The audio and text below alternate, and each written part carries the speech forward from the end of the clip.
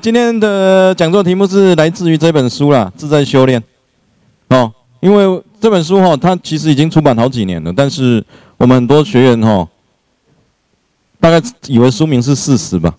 那 请注意它上面有字，自在修炼这本书哈是那个在赛斯基金会里面哈，在带赛斯书的时候哈，我遇到很多学员哈，他会提到一些问题，这些问题都是关于赛斯跟宗教之间的差异。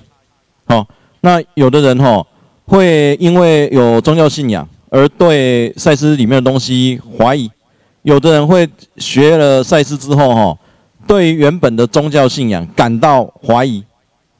那到底谁说的是对的？谁说的是对的？哦，你说的是对的，好，谢谢。那 你超越赛斯跟宗教，等一下会有人来膜拜你，你等小心点。那你到底是？哪一个讲法是对的？我我我跟大家讲一下哈，我相信在座哈有这方面困扰的依然还是有啦。你学很多年哈，还是有困扰的还是有啦。学很多年你也可能忽然就破功了嘛，对不对？学的时候都没有问题啦，什么时候才会有问题？遇到困难的时候才会有问题，对不对？今天有人哈学习学习学习，有没有人学赛斯三年得癌症的？有哈，你对得起赛斯吗？好，那没没问题。好，对你今天如果你学了三年得到癌症的话，你看到身边的人，好，看到身边的人，个个都是得癌症进来都好了，只有你逆其道而而行嘛，对不对？哦，别人走从南到北，我就要从从北往南哦，看看谁厉害。好，那今天如果一个人他从小接触的是宗教信仰。在他来到赛斯学习了十年之后，十年好学完之后，忽然有一天身体生病了，各式各样的疾病，他有没有在那一刻，有没有可能在那一刻，忽然想到一件事情？这是业障吗？有没有可能？有可能，因为我们有一些观念吼，它是根深蒂固的，它没有那么容易拿掉。可是这根深蒂固的观念吼，会造成我们的困扰。好，一个疾病哈，当它来临的时候，到底是出自于信念还是业障？出自信念还是业障？请问你能提出证明吗？请问你能拿出证明吗？这是一件 非常奥妙的事情哦。请问你能证明信念它能创造实相吗？请问你能证明业障不存在吗？请问你能证明人死后轮回不会变狗吗？请问你能证明人死后轮回都会变人吗？能不能？没有人能证明，真的没有人证明。那你今天来这边学习，跟你原本的宗教信仰，你今天如果都原本都没有宗教信仰，也就也就算了然后，如果你从出生然后到现在哈，三十岁、四十岁、五十岁接触到赛制之前，你对人生。完全是一片白纸，哈！你以前也没有听过阎罗王，也没听过观世音菩萨，路边也没看过庙，因为你都只是在玩手机。好，那你，你在这一路上从来不知道世界上有宗教信仰这件事情，哈！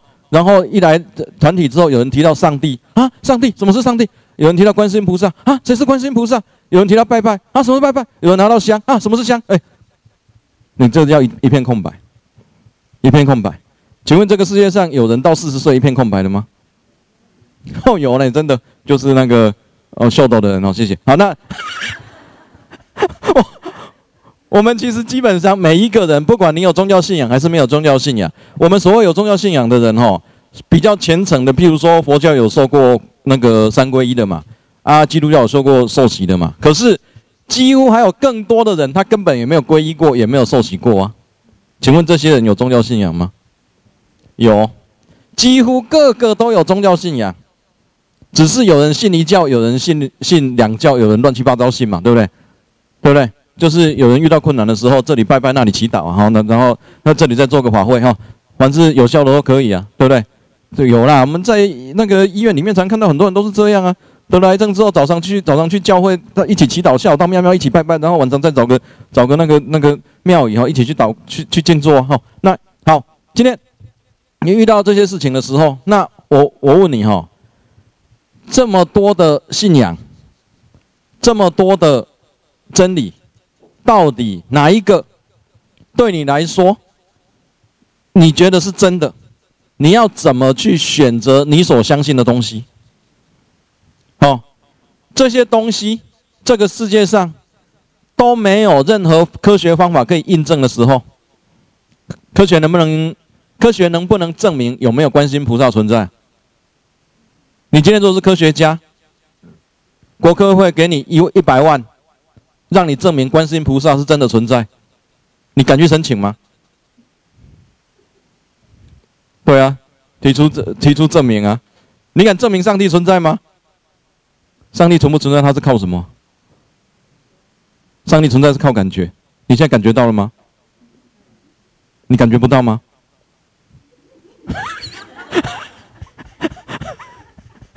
你看到师傅头上有光吗？好，那你 你看到师傅头上有光吗？如果没有的话，修电灯。知道？那你 光在那里那么清楚，你都看不到了。一修电灯，二修眼睛。好，那你，那我我们今今天今天在你的世界里面哦，有各式各样的真理，各式各样的想法，各式各样的宗教嘛。那我们有些人会学宗教信仰哦，学到最后哦，会有点不放心或恐惧感，有没有？有啦，会啦，因为我们其实，在那个信仰里面哦，一个信仰它在偏正面的时候，其实就有那个夹带那个负面的因素在里面嘛，对不对？譬如说，我们今天如果去去去拜拜嘛，我们拜拜，我们去拜拜，很多人都是去许愿嘛，对不对？不管你在拜什么东西了？哦，啊，真的啦，就我妈有跟我讲过，我妈跟我讲说，哈，我跟我心免做可怜，不是不是，我妈跟我说心免做可怜。大个人来催因，催因拢是有目的的，你无真正的朋友。嗯对。然后，然后我妈妈说，所以你去催伊，是安那？我妈说，我嘛是有目的的。好那，我们不是要求财嘛，就是就是要求健康嘛，不然就是求小孩考试顺利嘛，老公工作顺利嘛。哎，对啊。好，这这些神明，你去求他，你求完之后，求完之后，你有没有得到？另外一回事哦。好，你今天今天今天去跟神明许愿的时候，你的愿，你的愿有没有办法讲得非常的清楚？托来公，我今晚要创业，我哪赚到一百万，三个月来赚到一百万。我来搭下金牌，五十万电影，二十万报得起，五千我那报得起，阮家演的，啊那 可以吗？可以，你可以数字讲这么精确吗？啊，如果你赚的高十高万是金牌，还是点亮？没有到一百，所以要精算。所以托的公开我那我会给。好，那你，好，你今天去求了，求了对不对？好，你今天去求了，求完之后，求完之后，你在求的时候，它势必就是有相对的嘛，你要回馈嘛，对不对？这是人在跟神明求的时候，都有一个相对应对价对价关系嘛。好，几乎都是这样。好，你今天求完之后，如果你求完之后，真的三个月后赚到一百万。你可以大声的说：“早在卖白，这我跟你谈的呀，看有没有关系啊？你可以这样吗？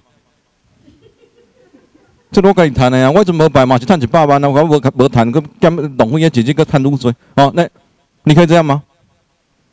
你敢不敢？好，良心过不去。好，OK，良心过不去。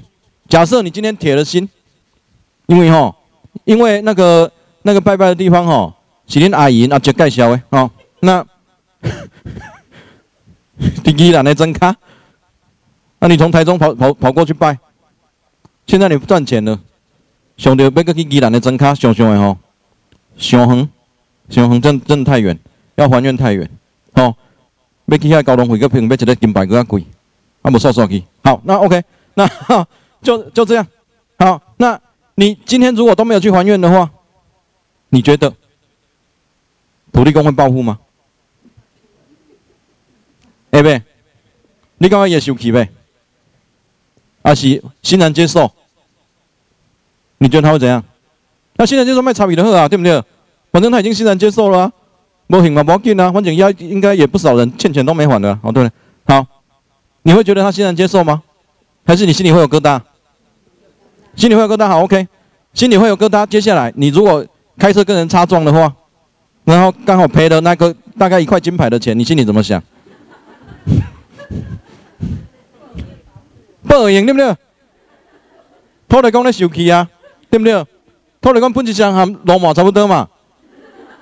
你俩对有许诺，你就还他；你不还他，他就找你报应啊，报仇啊，对不对？这是许多人想法，这是民众普通的想法。你只要有求于人，你就一定要有所回馈啊。你如果不回馈的话，你可能就会有灾难。好，OK，这个我们等下再一一来跟大家破解，因为这是这是信仰上的一个难题啦。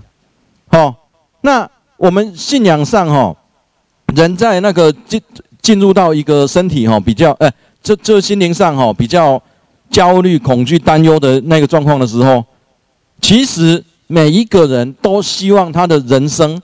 能够有所改变嘛？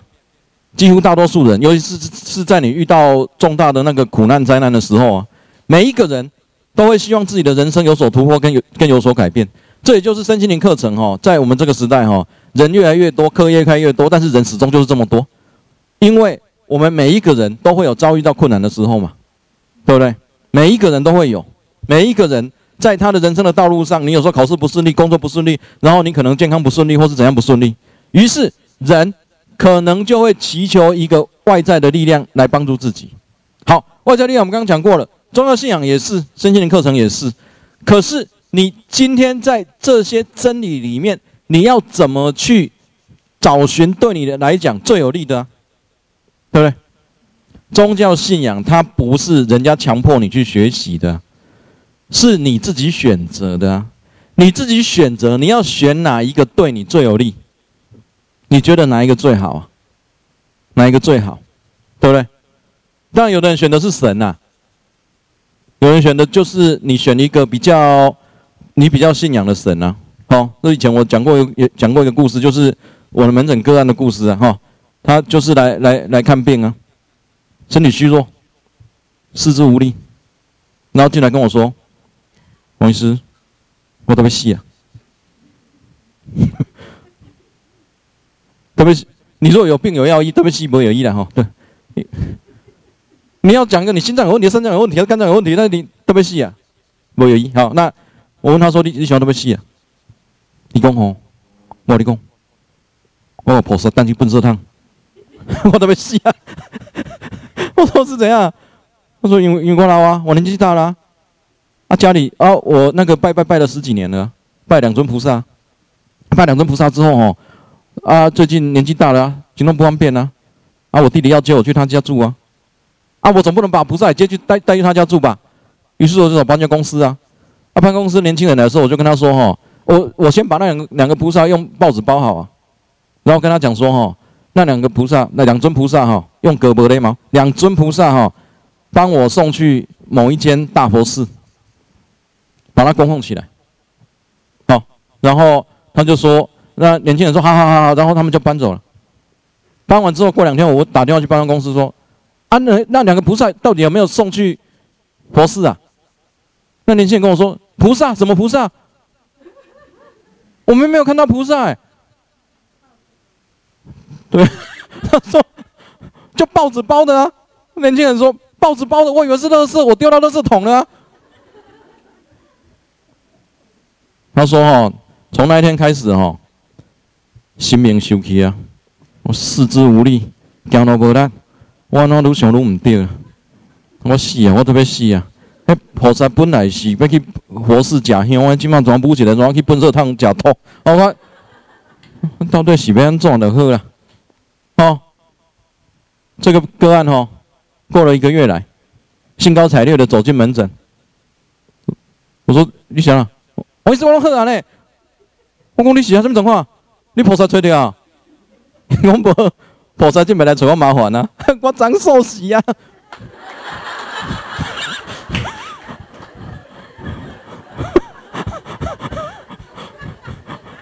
哎，你知道这个就是哈人对信信仰的一个迷失，选择选择 选择一个你觉得最有利的。可是，当你把力量交托出去的时候，它会产生问题嘛？哈，也就是说，你交出这个力量的同时，他从同时也会在你心里产生一种，你如果不追随他，就会有恐惧感。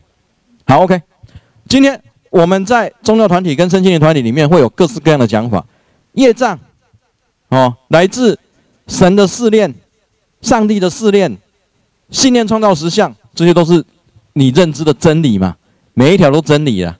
真理跟真理还打架了，哦，你不知道哪一条是真的？请问你要怎么选哪一条真理对你来说最有用？哪一条？你信起来最有力量感？哎，人的头脑是存在于于于信的啊，对不对？哪一个对你而言最有最有力量感？我我我我们这样讲好了，你今天如果生病，你今天如果是工作不顺利，我们认为是业障造成的。业障怎么治啊？业障怎么治？你能治业障吗？你要找法师，还是谁？啊，如果这个治完你依然并没有起色呢？再找另外一个法师。啊，如果还是没起色呢？再找另一个法师。那到底要找几个呢？对，一直找，一直找下去。所以它是一个死胡同。如果你今天刚好找完第一个。你就痊愈了，你会更加的相信业障。好，假设你今天你知道这个治疗方法它是什，它解决方法它是什么意思呢？你必须把你的解决的力量交托出去，因为你本人没有办法治疗业障这个问题，解决业障这个问题。好，今天如果你的人生的不愉快是来自于神明的试炼或惩罚呢？你有办法解决神明吗？你有法度向咪讲无？向咪瞧？你要找上还没瞧？你要找不人？找我。好了，那你 今天要找了谁去帮你瞧？没有。所以，我跟你讲，你今天在你的人生的道路上，你如果生病，你认为是你的信念起冲突；你今天如果事业不顺利，是你的事业信念起冲突；你今天如果爱情不顺利，是你的信念起冲突。你知道问题的核心回到哪里？自己，自己比起业障。比起神明是更简单的一件事情，每一个人回到自己都可以解决这个这个问题啊！所以我们要把每一个人拉回来，就是要让你从自己来解决你身边所有问题。为什么？因为这些事情通通都是你创造出来的，对不对？你创造出来之后，才有这些问题要解决。好，那你到底要怎么解决发生在你身上的这些这些问题了？发生在你身上的？人们过去从那个宗教信仰里面也学习很多方法了，可是你来到申请的团体之后，我跟你讲，解决问题的方法，简而言之，就只有四个层面，就是我们这本书里面要给你介绍的四种层面，不是四十个层面哦，是只有四种，四种层面。如果四十个层面读太久，四个的话就比较简单啊。那四个层面是哪四个层面呢？第一个是信心。第二个是觉察，第三个是静心，第四个是爱，就只有这四个层面。你这四个层面好好进去练习，而是同时练习，不是依次练习。你慢慢的练习，你就会发现自己的力量，它就会产生出来。因为我们所有的问题，它其实就是这样而已。这四个层面，它其实在每一个圣境团体跟每一个宗教团体都有提过。可是我们稍微跟大家哈厘清一下。让你哈在练习的时候哈可以更更轻松更自在。好，我们第一个讲信心。信心我们刚刚刚已经稍微提过了。所谓的信心是什么？信心到底是什么？你相信现在天空没下雨吗？就需要相信吗？抬头看一下就看到了。你相信现在是两点二十五吗？抬头看就看到了。哦，你知道？台湾现在的总统，哎，你相信昨天的总统是蔡英文吗？这需要相信吗？这需要相信吗？是，对，事实。我们所谓的相信到底是什么？只有未知的事情才需要相信吗？已知的事情要相信什么了？就已经知道了，还要相信什么？你相信台湾二零二零年的总统是？我不能讲。好，那你，你，你是要我脱党参选？啊，不要闹了！我诉，好，那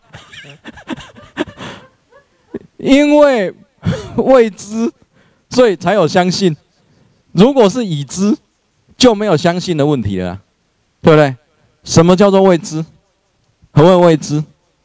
今天有一个人他罹患的疾病，今天是高血压、糖尿病，今天是癌症、痛风，任何一种疾病，你相信你会好吗？他就是一个相信而已哦。你相信你不会好吗？他就是一个相信而已哦。每一个人的相信都是不一样的哦，在同一个诊断里面哈，每一个人的相信都是不一样的哦。我今天如果在心理团体里面哈，我们今天讲糖尿病是会好的一个疾病，你听了有感觉吗？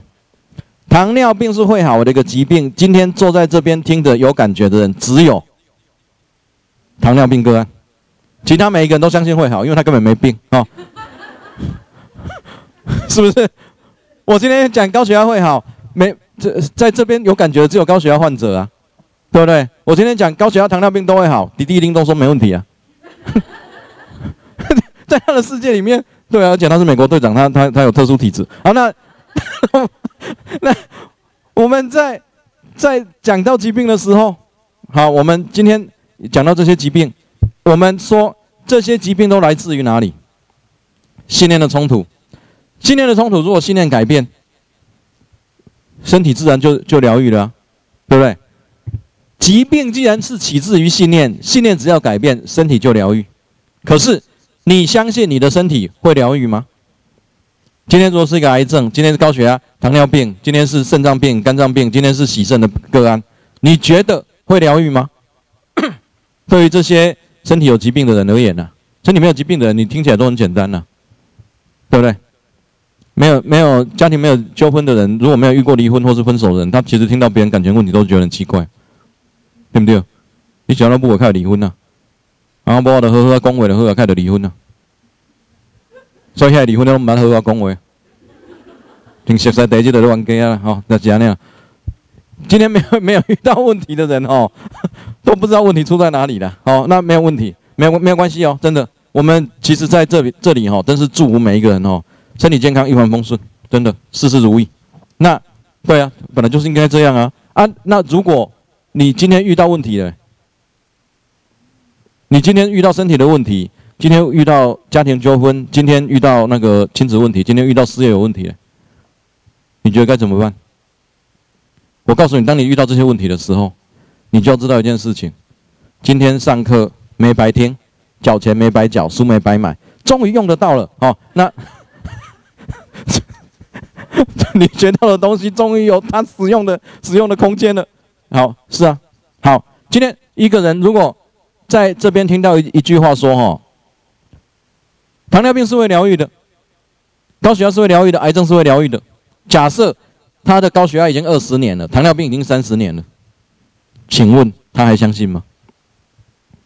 已经吃药吃了这么多年，已经胰岛素打这么多年了，好，你竟然说会好，会好听起来什么感觉？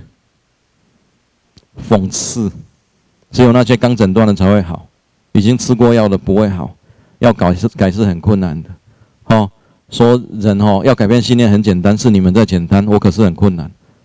说人要改变性格是很简单，那都是书上写的，嗯，不要再做心灵鸦片了哈，心灵鸡汤我们喝多了哈。你说很简单，我看是很困难。是啊，这里面透露什么讯息？不会好，不会好，对啊，他的认知是不会好。我们人的头脑里面没有那么简单的会好跟不会好两种念头嘛。会好就是你全然的相信我会好。对不对？相信这件事情，它是一件何其重要的事情啊！相信，好，相信之后才会决定你的行动啊。相信跟不相信是决定人的一个行动的一个基准点嘛，对不对？你相信之后，你所有做的事情都在符合那个相信；你不相信，所有做的事情也要符合那个不相信。当然，你会说，人的头脑里面没有绝对的相信跟绝对不相信嘛？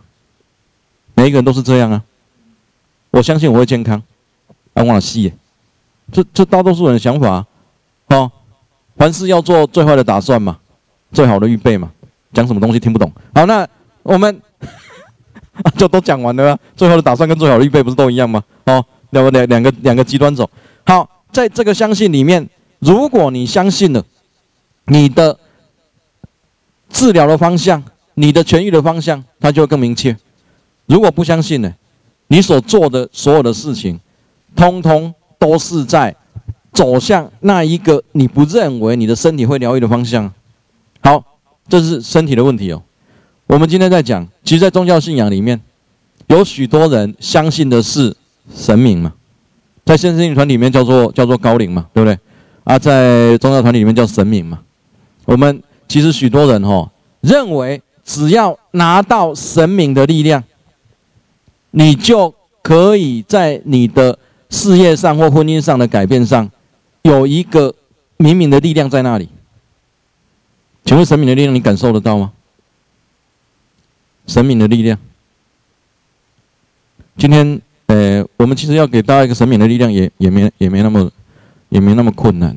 其实哦，在佛经里面，其实佛经大家有读过哈，在每本佛经一开始的时候哈，就是会介绍呃如是我闻嘛哈，有读过人都知道，第前面四个字一定要这这这四个字如是我闻哦，因为那不是佛写的，佛经是不是佛写的？对啊，圣经是不是上帝写的？圣经是不是耶稣写的？赛斯是不是赛斯写的，他讲的啦。基本上，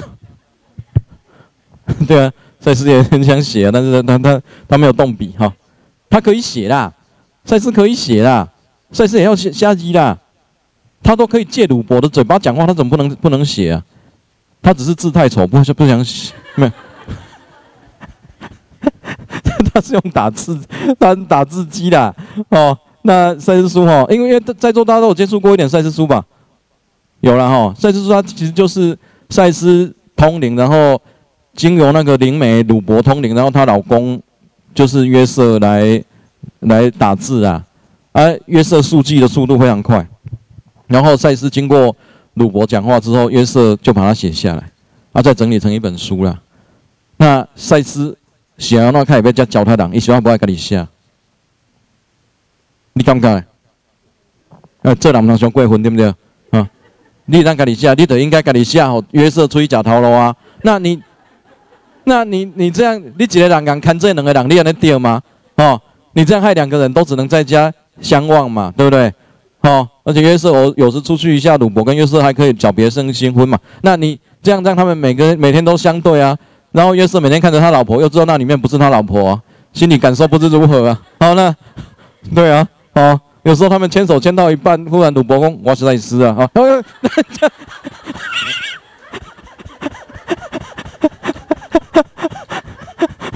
我是说牵手，我没有说别的事哦，哦，那你 你。因为现场还有小朋友，所以我只有讲到牵手而已哦。好，那你 好了。那今天这赛斯在讲话的时候，经经过经过约那个鲁伯嘛，啊约约瑟哈，他其实有问过我刚刚问的那个问题啊。约瑟问赛斯说：“你喜欢不会赶你下下来的？你写叫太郎你啊？” 哦，那赛赛斯有有针对这个问题提出回答哦，真的哦。哦，不然你问他，他在那里啊啊？那个那。你在对你笑，你有感觉不？哦，在笑，在笑。好，那在笑。好，那 是啊。那赛赛斯有有跟那个约瑟回答了。他说：“哈，因为他在讲话的时候，约瑟一边在书记哦，一边会问一些问题啦。然后问一些问题哦，让赛斯知道他讲的这些课程哈，到底人类人类就是我们嘛？哦，人听得懂还是听不懂啊？顺便做一点修正啊。哦。”啊，修正完吼，就是让他讲话的那个内容吼，可以比较符合、比较接地气的哦，才不会讲的东西都没人听得懂啊。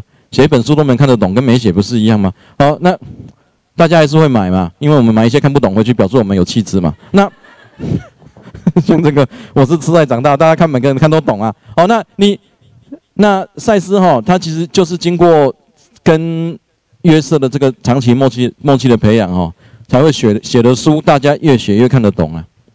好，了解吗？有人这边有人读过早期课吗？有哈，其实很少。那因为早期课它的文具哈更加的艰难。那赛斯就是从早期课讲完九本之后哈，对他有时候想一想，人类的智商就这样而已。好，那 接下来从灵魂永生才慢慢的变成比较简单的课程。越讲越简单，越讲越简单，然后讲到健康之道，大家都看懂了，好，但这这时候鲁博的时间已经不多了，好不容易大家都看懂了，啊，那 这这就是一个过程，好，OK，在我们这这个学习里面，哦，你知道许多人都是来自依赖那个神灵的力量，好，神灵的力量它是什么？神灵的力量，你今天拜完之后，你会觉得神灵的力量在那里吗？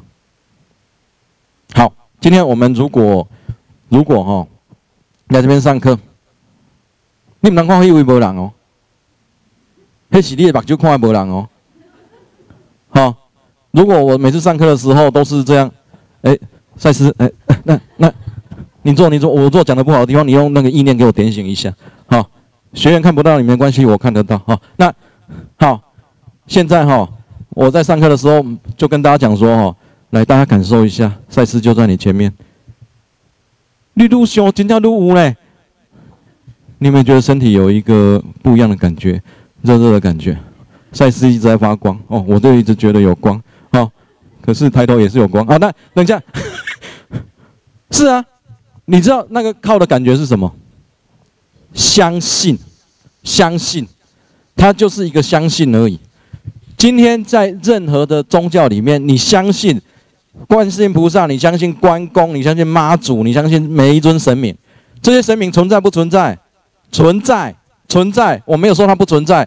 可是于你而言，比起它的存在，更重要的是什么？相信，相信。好，今天这个相信的力量，可以不可以不经由任何一一一尊神明？都没有靠任何一尊神明哦。对啊。所谓都没有靠一尊神，靠任何一尊神明，哦，就是纯粹的靠自己。你自己是谁？神明，你就是神明。你相信你有神明的力量吗？对啊，你在那个拜拜里面哈，拜拜拜拜拜拜完之后，就有那个，你就会相信神明的力量在庇佑你嘛，对不对？你可以在早上照镜子的时候。一边梳头发，神明呢？掏钱有神明呢？对你本身就是一个大神明嘛？对啊，神明刷牙的时候，神明在刷牙呢。神明你要保庇我呢？哦，你能甲你讲，你洗那洗面洗啊久啊？我唔是咧洗面，我咧拜拜哦。你，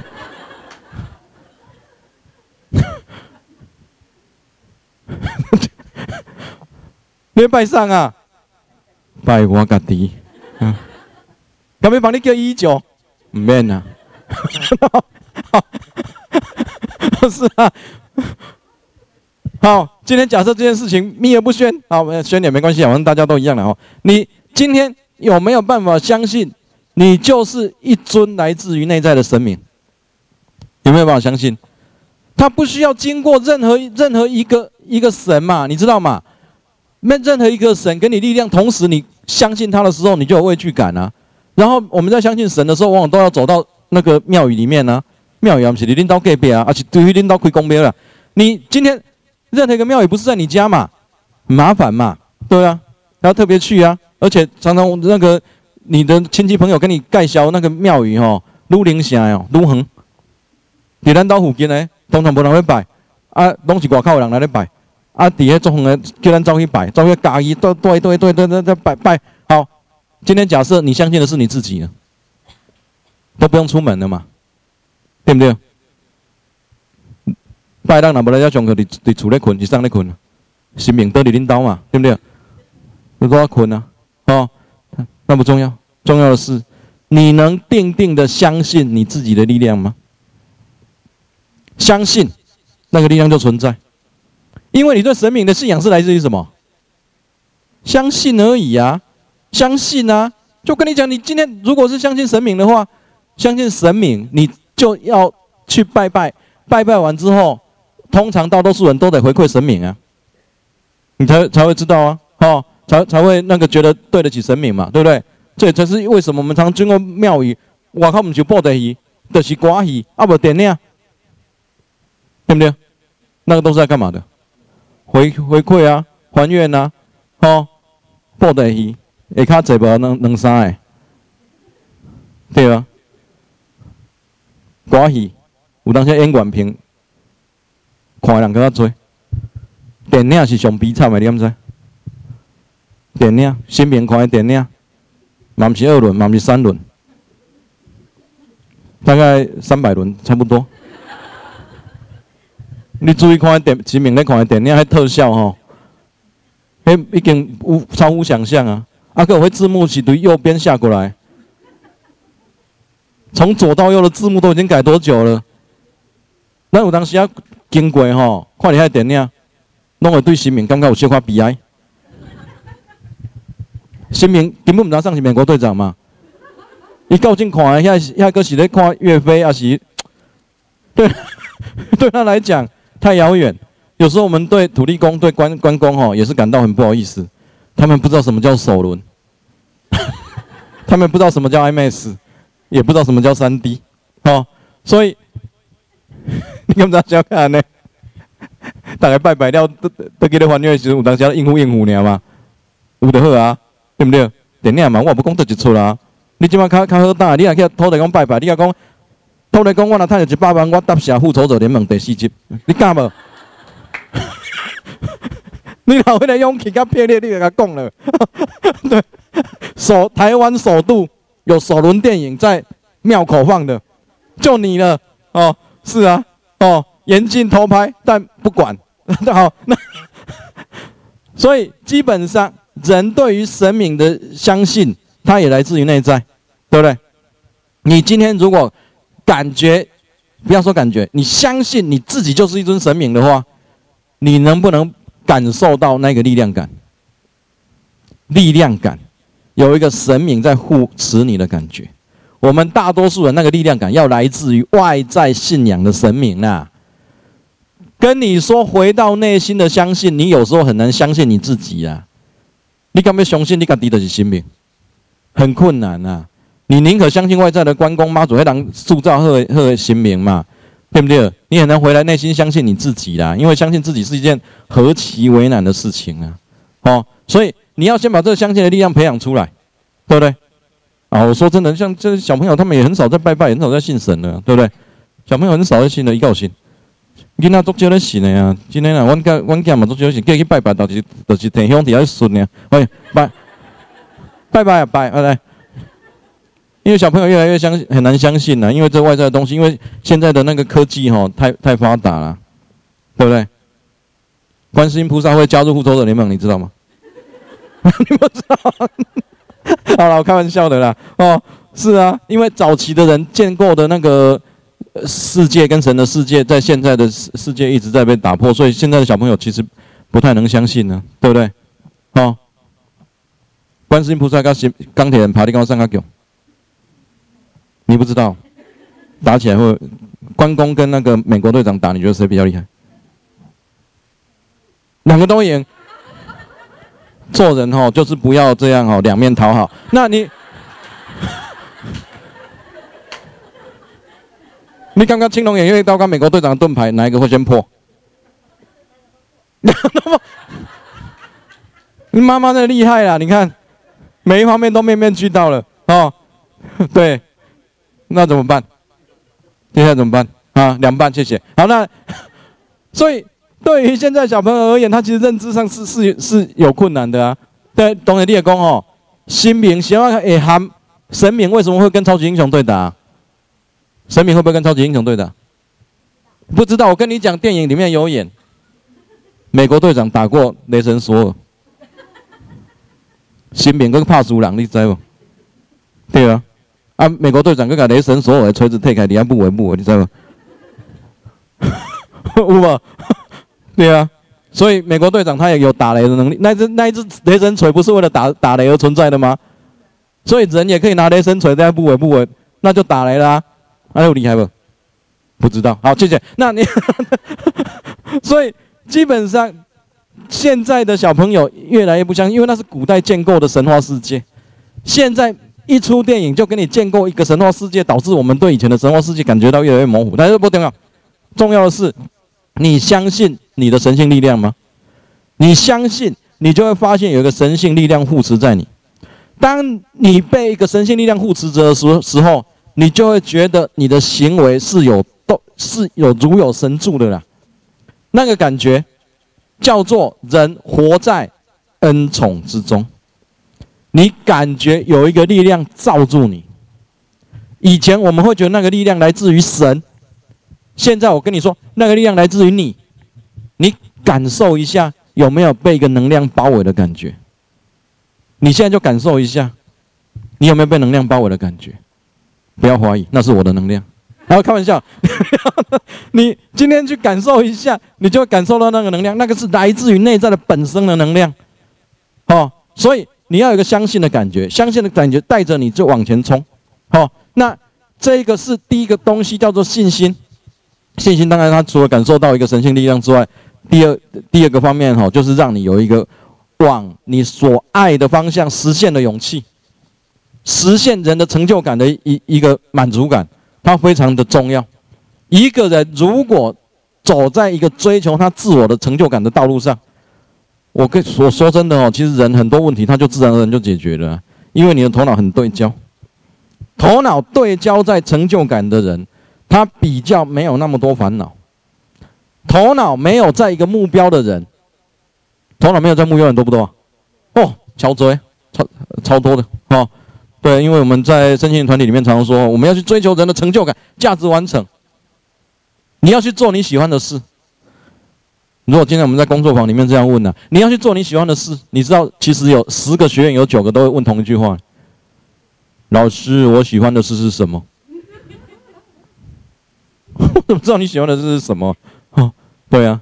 如果你不知道的话，我就想象下次再来再交点钱。好，来，是啊，对啊，因为很多我们很多人哦，不知道自己此生来到这个世界上该做什么，只是隐隐的感觉，我应该不只是这样，我应该还有更好的发展。至于发展到哪里，不知道，不知道我到底要发展到哪里。哦，我到底能做什么？火锅店人家也开了，咖啡店人家也泡了。那到底我应该去发展什么什么什么比较好？我想要上太空，但是阿姆斯壮已经去过了。那我到底该做什么比较好？我到底还能做什么？你所想要的东西，让你自己去看到一下，什么东西能让你废寝忘食？不要跟我说追剧啊！那，你总有你想要去做的事情哦。那让我们朝向你的成就感迈进。这个叫做人的一种对于自己的来自于内在的信心感，你才会往前走，了解吗？第二个哈，我们刚讲信心，第二个就是就是就是觉察，哦，觉察这个这个真真的超重要，觉察哈，它真的突破了那个所有宗教里面的认知。为什么觉察就是要改变，改变你自己？因为我们传统传统在在宗教上哈，要改变自己哈，通常都会用一些华而不实的方法了。华不实的方法哈，就比如说，今天如果是在佛教里面，我不是在批评宗教的，虽然听起来像在批评宗教了，而且实质上也是在批评宗教。那你 说宗教上有一些方法哈，它其实哈是华而不实的方法。好，比如说今天我们如果遇到生活上的困难呢，然后我我要跟你讲哦，这个世界上一切都是空。对啊，一切都是空啊！你今天如果遇到被有人跟你借钱五十万都没有还，好，你今天如果你家老公在路上跟别人接吻，那那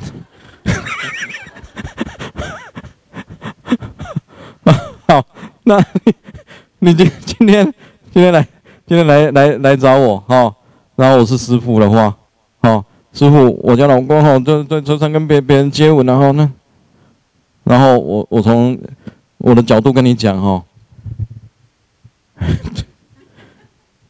我是师傅，那那假的已经被别的师傅用过了，那对了，假的，他讲的是真的，因为从宗教观念里面来讲，一切都是假的嘛，对，一切都是假的。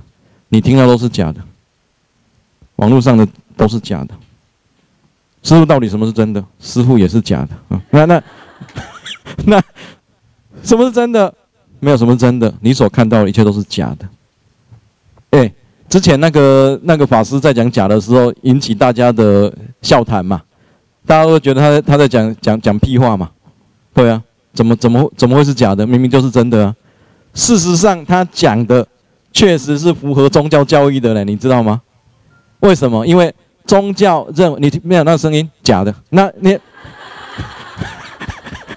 你不要以为你有听到，那是你的幻听哦，没有了嘛，对不对？那你，你，你，你今天哦，哎，对啊，每次在演讲就是这样，只要有个声音，全部被吸引过去；只要有人起来尿尿，全部被吸引过去，老师颜面无存。那 你，你，你，你今天哦。在那个宗教里面，哈，好，就就是这样。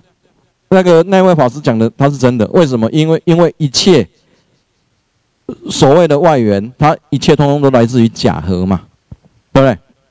一切都来自于假合，他就导致哈，我们会认为，既然所有的东西都是假合，你也是假合，我也是假合，这世界上所有事情都是假合啦。所以万事万物的本质是什么？空。对，虚空，万事万物都来自于空，所以你看到所有的东西，通通都是假的。你看到所有东西的本质都是空的。告诉我，你看到了什么？师傅，我看到假的。师傅，我明明假的啊，可是报纸上明明假的。师傅，网络上师傅没有用手机啊，那那。似乎没有网络，所以一切都是假的，是不是假的？我们能不能用这个来说服自己？闭起眼睛，我没有叫你闭起眼睛啊。师傅跟你说，闭起眼睛，去看看那件事情，它存在吗？它不在，对不对？所以证明一件事情，它是假的。你能不能在这里得到疗愈啊？现场可以。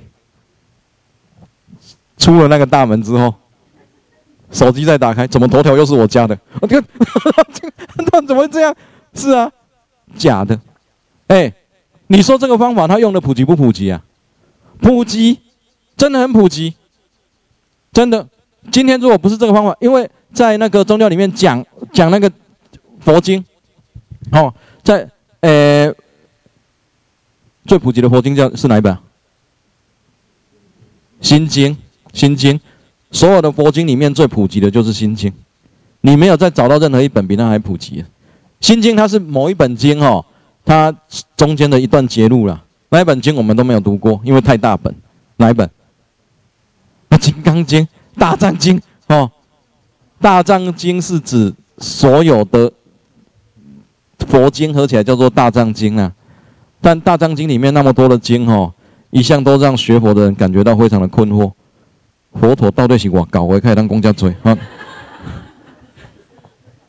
赛斯搞，回要个白也料的啊！这个大藏经叫传播书架的，拿去讨呢？学员你要买不？我买买这一本做传播搬的哦。你若搬的书架挂上哩哦。那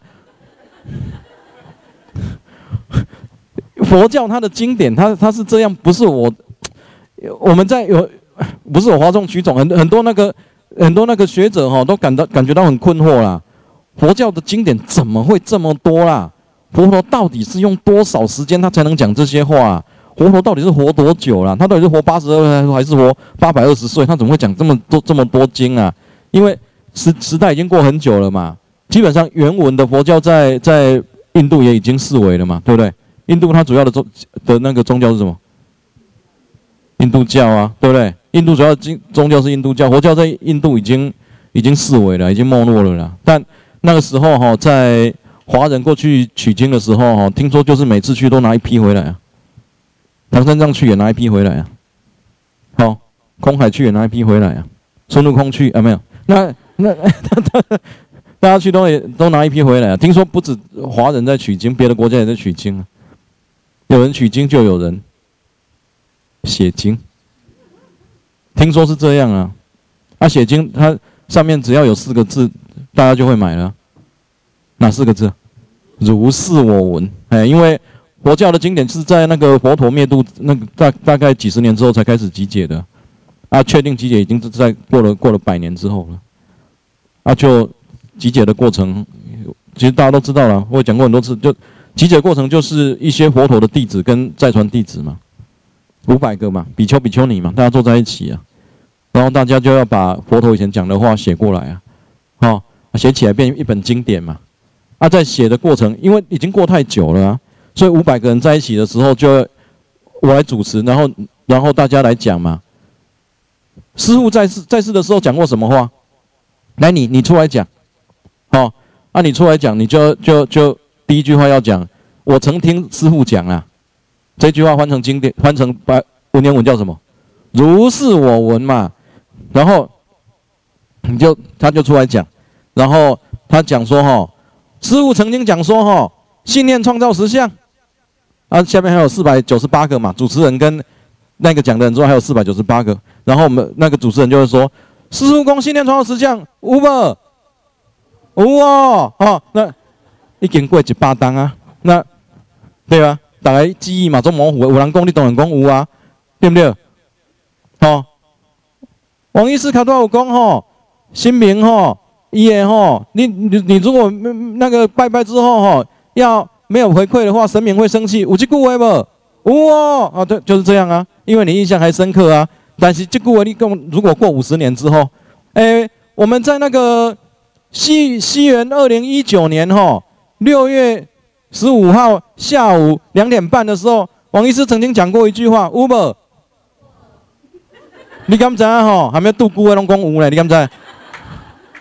因为他的记忆很模糊嘛。那好，佛教经典基本上是这样集结过、集结起来，但我们也不能批评那时候比丘、比丘尼，也许他们的记忆力超强啊，对不对？因为他们每个人都记得很清楚啊，每天师傅讲过的话，他们每一句话都记得清清楚楚啊，够可怜。你讲不可能，搞不有可能啊，对不对？哦，这我我是唔知啦，那我智力是不可能啊。我通常听到嘛是用随便记的。好，那就是就是因为大家这样啊，所以我们那个 CD 买回去可以一听再听，就是有这好处啊。听到拢随个别个记啦，对不对？就是安尼啊，CD 拢买了不好啊，因为你听到一遍，搁听一遍，拢无人买买新的啊。那你，那你，看特别听拢像新的安尼啊。好，那，好那，真的对不对？尤其是如果听完一套之后，再听下一套，再回来听这一套，哎，新的哎，这 这什么时候买的？这个好，OK，那这个这个那个经典这样集结起来之后，啊，你你有时候看，哎，怎么会这么多这么多经典呢？哦，那所以哈，在那个宗教里面哈，有一些书，学者会认为是伪经啊，就是后人创造的经啊。因为里面的教义明显的跟其他的宗教的教义哈，在其他佛教的教义看起来不太一样，包括大家耳熟能详的经，包括那个地藏菩萨本愿经，都有学者说那是一本伪经，因为看起来不太像是佛陀讲的，但看起来啊，没有人敢证实是啊，哦，包括那个佛说父母，你看现在大家都没反应，因为大家都知道那声音假的啊，那 佛说父母。恩重难报经，据说大家也觉，那学者也觉得那是一本一本伪经啊。好，那，哎，不重要，是不是不重要？因为我说伪经你就看过吗？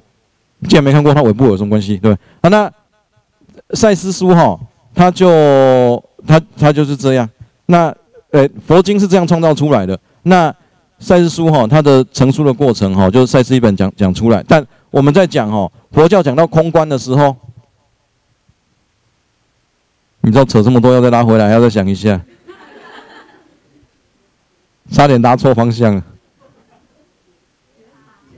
我讲空啦，你是拢空气啊你啊？较正经的啊，三点九万下课节啦。高人准备棒球啦！啊，不不不，没礼貌。那个还有人，还有人在那个录影机前面，他们没有这个问题，因为他们都是一边看手机，拿着到到厕所一边尿，也不想想在现场人的痛苦。那好，那我们基本上在那个宗教里面，他讲空，这空哈。在那个现在哈，还普遍很多人在在使用，所以你看，有一些人他遇到问题的时候，回家抄心经。对啊，以前我家小朋友也也也也有跟我讲过，我说有些同学考试不及格，留在学校抄心经。是明仔准备科心经啊，准备科数学，我满不知了。但留在学校抄心经，哦，那抄心经，感觉能让心静下来。心经的词语很优美啦，大家都知道了。可是，空观能解决到你所有的问题吗？没有办法，因为你即使极力说服自己，这一切都是假的。明天你还是要面对。今天你从医院那个被诊断癌症第三期走出那个大门的时候，假的，假的，假的哦。对，你在那当下能说服自己，最后呢，你还不是得回来面对你自己？那你到底要怎么面对你自己？觉察，觉察你的心。你如果没有办法觉察你的心的话，那个空，它只是讲出事情的本质，但是它并没有对应到事情的真相。好了，今天一对夫妻在吵架，夫妻在吵架的时候，两夫妻都是有宗教信仰的，吵到一半，太太说：“这一切都是假的。”先生也说，这一切都是假的。两个人还要继续吵下去吗？还要继续吵，因为假的加假的等于真的，对不对？在你面前的他是如实存在的啊，你并不会把它当做假的，你耳朵就听不见他的声音呢。你并不会以为把它当做假的，你就眼睛看不到他的影像啊。所以基本上你在看待这些事情的时候，所有的事情，也许它的本质是空的，可是。当它如实出现在你面前的时候，它就是真的。那我们如何来对峙这些真真实的东西啊？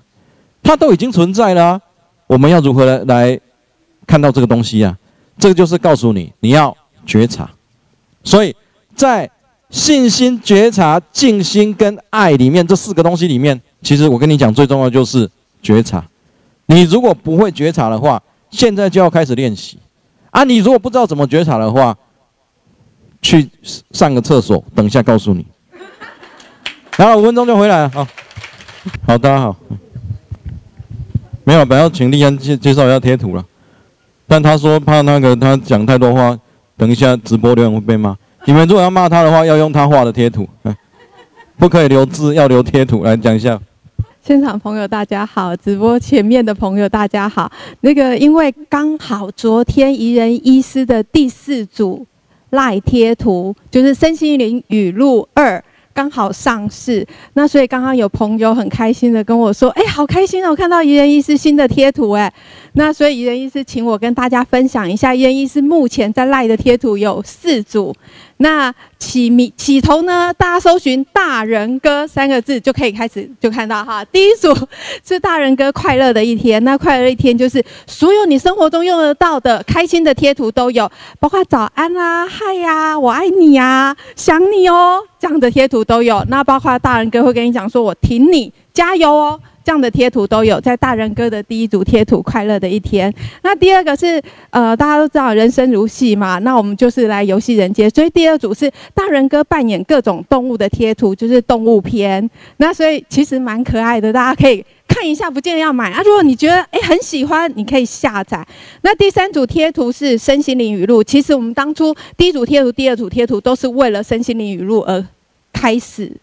那身心灵语录其实里面包括非常非常多，真的可以让我们每一天就像金句一样，然后打开来，然后带给自己满满的能量。那因为身心灵语录一在我们身心灵团体在赛制的团体里头很受到朋友的喜爱，所以就很多朋友鼓励我说，是不是可以再有第二组？所以昨天我们第二组就是身心灵语录二已经上市了。那想要跟大家分享赖贴图有什么好处呢？就是其实我们常常可以看到网络上有很多的酸语嘛。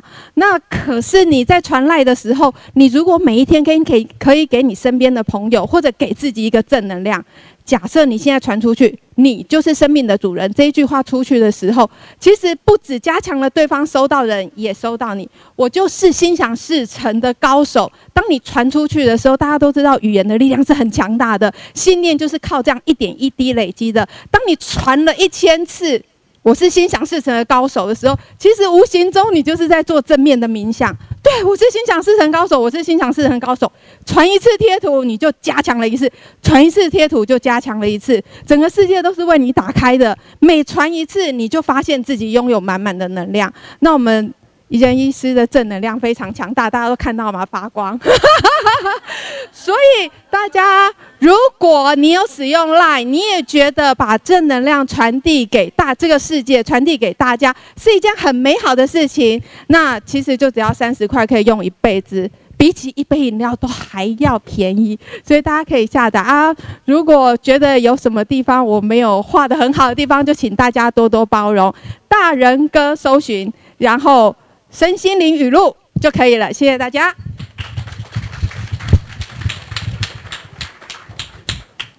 贴图有什么好处？贴图最大好处就是不用打字啊。这 人人均均知啊。好了好了，我们回来回来回来上课啊。你如果要低头的话，赶快买一下贴图啊。我们要多元发展。我我八月。还要来台中，跟台中市副市长对谈金庸小说。你你啊，这叫跨领域，在什么？请关注脸书。台中不知道哪一间图书馆？嗯，对啊。啊？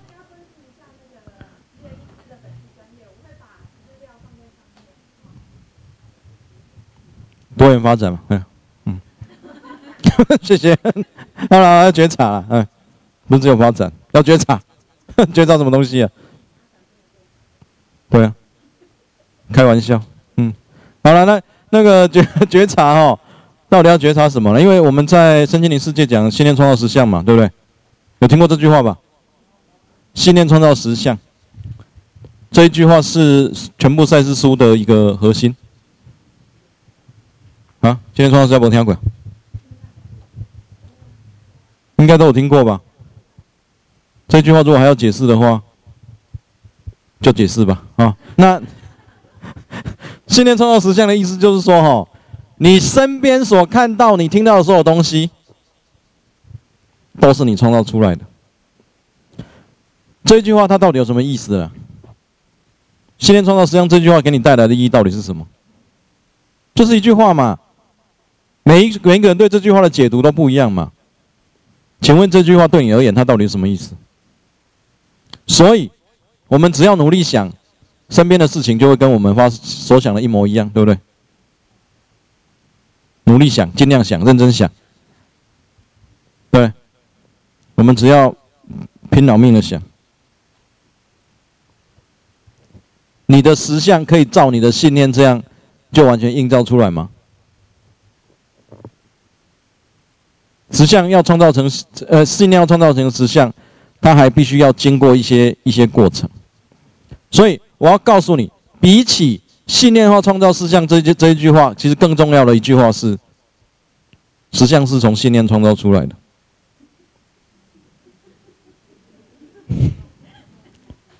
信念创造实相，就等于实相是从信念创造出来的。两句话到底有什么不同？两句话一模一样，但是我要跟你强调的重点是信念。我们要跟你强调实相，为什么呢？因为实相不是你能掌控的，信念才是你能掌控的。可是我们大多数的人其实都很努力在操控实相，这就是身心灵的世界里面常在问一句话。如果你家失火了，你到底要先灭火，还是要去追那个放火的人？先灭火啊！是啊，这么简单的事情，但是我们通通都去追放火的人。对啊，是不是这样？如果你老公惹你生气，你到底会先你灭你头脑里面的火，还是先骂他？对啊，对啊。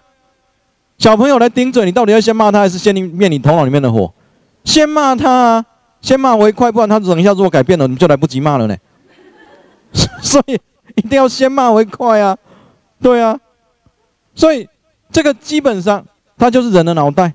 我们刚刚在讲那个比喻故事的时候，身形世界的一个一个比喻的时候，所有人都知道啦，先灭火啊，有时间再去找放火的人呐。但真的在生活中遇到的时候，几乎所有人都会先去找放火的人，至于火灭不灭，再说了，对不对？只要那放火人抓到，请他来道歉就好了，管他我的火还有没有在在在点呢？就是这样啊，把他骂一顿，也许火就熄了。就是人的脑袋啊。好，每一次都让你的世界里面哈，就是一直在追那个放火的人，你的人生到底该怎么办呢？你一整个人生，通通处在被别人掌控的状态呢，你知道吗？你一整天的人生都会过得不是那么惬意呢。如果要你惬意的话，必须所有人都让你如意，你才能惬意呢。可是这个世界上有多少人是为了让你如意而存在的？对不对？你是国王吗？你是公主吗？你今天如果是总统的话，世界上有多少人在骂你？你知道吗？你如果真的不知道多少人在骂你，麻烦打开网络看一下下面的留言好吗？如果有任何一则是好的，请你暗自的窃喜。真的，几乎所有都是酸言酸语。对啊，这个世界，这个世界它其实也是在改变中啊。以前如果有人骂骂到某一些人的话，大家可能会不习惯。但是现在你看，什么事情一出来，网络公审涌进来骂你的话，哈。以前还听得完，现在已经看不完了啊！都要分好几次，中间还要去上个厕所、喝个水，几千折、几千折，哦，尤其是公众人物，一被偷拍到，一被怎么样？但现在你看这么多人在偷拍别人呢，对不对？正义达人啊，什么啊？然后在捷运上拍啊，然后在火火车上拍啊，哈，在干嘛？哦，然后拍完之后给你给你放到 YouTube，他当网红，你受难了哈。那然后下面就有一大堆人来攻神呢，是啊。这些东西它给你造成多少的困扰？当然你没有被公审过了哈。但啊，你都不告我名啊？你要是要去用公审，你先有名，啊，看多少楼龄小金，啊，你都没问题。啊，为了达成这个目标，你还要一阵子要努力啊。那真的，你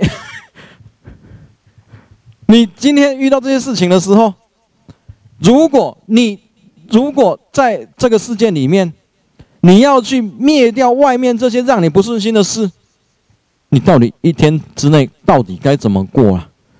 因为一天里面这些事情它是持续持续的在发生的嘞，对不对？我们一天里面如果要灭火的话，我跟你讲，你随时都要拿准备水桶嘛，因为火太多了。那一桶水，它其实只要拿起来往自己头上浇就可以了。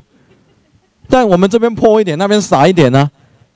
你不也不是在灭，我们是在找那个放火的人呢。一天到晚引起我们生气不如意的人实在是太多了，好，每一天的生活不是灵魂的精心创造，是灵魂的精心考验。哦，奇怪了，这世界上为什么这么多事情让我们不顺心呢？是不是？你有没有感觉？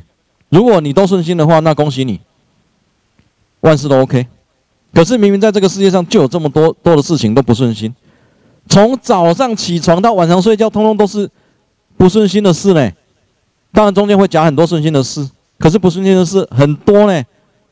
从一早上起来，闹钟一响，哦，被熊班了，哦，对呀，然后你看多少人起床，接下来要弄早餐，不然你也得出去买早餐。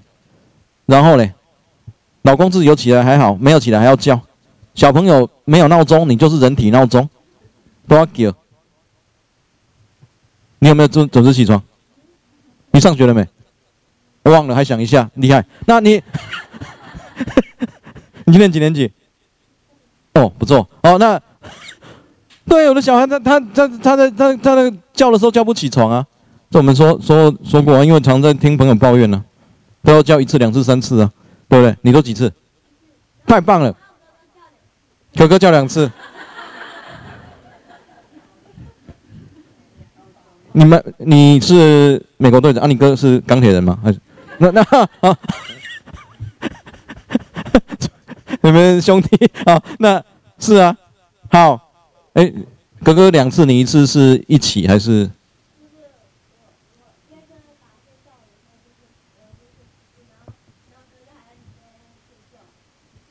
那你妈妈在干嘛？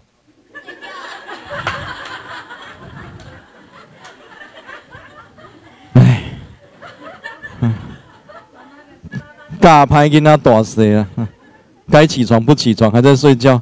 对啊，你们出门他还在睡。摄影机对他好了。我们现在在场的所有人都已经体会到你爸爸的痛苦了。好，那今天叫没开起，等下给你捆哈。那是啊，然后爸爸帮你准备早餐嘛，对不对？爸爸帮你准备早餐，送你去学校，亲一下再下下车，对不对？那时候妈妈还在睡，哈。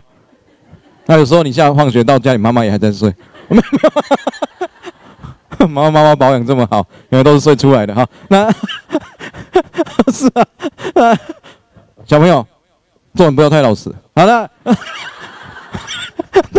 好，好，开玩笑，开玩笑，开玩笑。好了，所以我们其实哈，每一天哈，在这些生活里面哈，你知道，当你不如意的时候，你就看到外面的事情。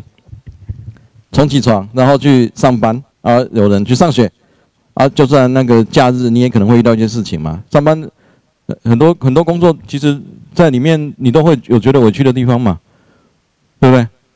哦，这不然怎怎么会一个一本畅销书写没有工作不委屈？有看过这本书吗？都没人看过。我知道，因为你们回家都只看赛事书。那你 有一本书是这样写的啦：没有工作不委屈，但不工作你会更委屈啊。那确实啦，就就这样，因为你们在工作里面哦，很多人都会觉得老板工作分配不均啊，然后我们的那个薪水太少啊。啊，不要的工作别人丢给我啊，啊，老板的奖励都加不到我头上啊，都加到别人身上去啊，然后我们心里就满满的委屈啊。然后在职场里面呢，八卦啊，哦，或讲别人八卦啊，这职场最大娱乐就是八卦嘛，哈。那啊是啊，然后在在这个里面，我们心里会觉得有很多部分都很委屈啊。然后到下班之后又要煮饭啊，煮菜啊，洗衣服啊，然后教小孩功课啊。啊，老公如果要帮忙也还好啊，老老公如果不帮忙的话，你又觉得很累啊，各式各样的事情啊，这些事情当它发生在你身上的时候，你到底该做什么？明显的外境不足以摆在那里，跟内心的焦虑、愤怒、痛苦、抗拒摆在一起的时候，请问你要先处理哪一个？这个是许多人的功课呢。对，处理情绪啊。可是那个惹你生气的人，他明明在那里啊。对啊，哦，我讲一个讲一个简单的。今天小朋友在学校功课一向都很差，数学考三十分，国语二十分，社会十分，哦，那不容易。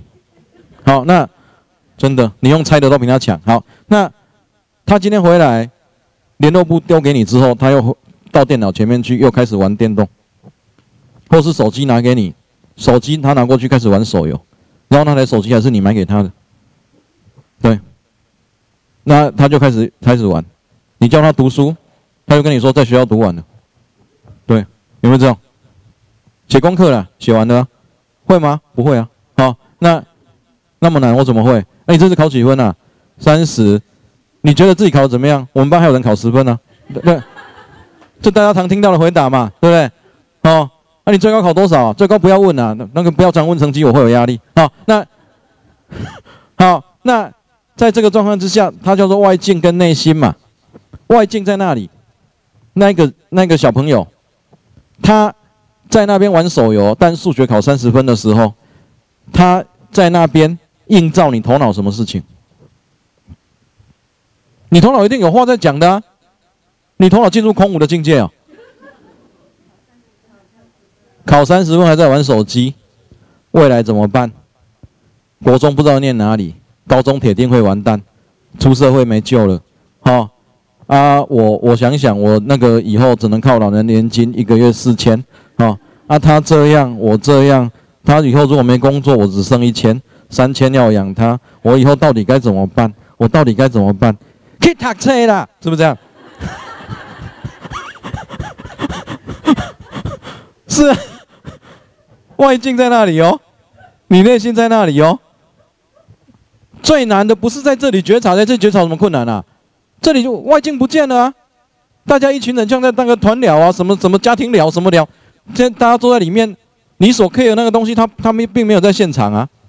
他除非他当神秘嘉宾就过来了，哦，你再讲到一半，他忽然进来打手游，哦，妈妈，你在你你在团聊，你继续吧，哈，那那你这次考多少啊？又听不会不两分剩二十八了，哈，那这时候你还坐的好好的在那边。其实我跟大家说哈，我要觉察，我要觉察，那表示你功力高强啊。好，OK，现在你坐在家里，你的对应物跟你的心，它两个相处在一起，你到底要先去处理它，还是先去处理你，处理你自己？这是小孩，这可以可以掌控的哦，小孩是可以掌控的嘛。一般的家庭啊，如果今天是婆婆在那给你谁谁念呢？你几个月开完嘴啊？你无食好，你一个月开阮囝开偌济？阮囝吼，其实迄阵吼，迄、迄个，毋是毋是，其实吼，迄个张立伟因查某囝一直要嫁阮囝，阮囝毋知想要开爱着你啊。我迄阵嘛甲讲卖错啊，我无想到你嫁了怎变安尼啊？迄阵我若知你无食头路，我一定会动的啊。啊，你一个月到底开阮囝偌济啊？你有没有感受啊？还是你头脑空无啊？对啊。啊！你是通安怎做诶啊？这兼正你会晓会会晓十个啊？吼！恁大家若恁大官若食这，可能会中风哦。我来讲啊，要叫你叮嘱，我是惊浪费掉这菜头啦。无叫你叮嘱，我毋知要怎食啦。我当做大家呗，嗯。好的。